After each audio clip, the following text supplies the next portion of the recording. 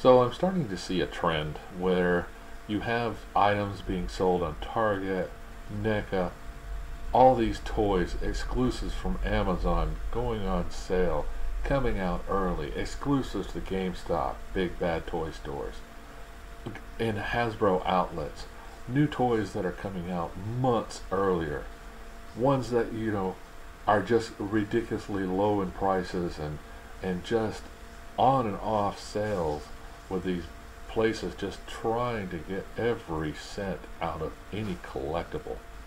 It, it's kind of scaring me about what's coming up in the toy world. I mean, G.I. Joe, Transformers, McFarlane, DC, they're going to end up all on the clearance aisles, half off prices, just like they are at Target right now. So if you're worried just like I am, leave us comments down and let's talk about it.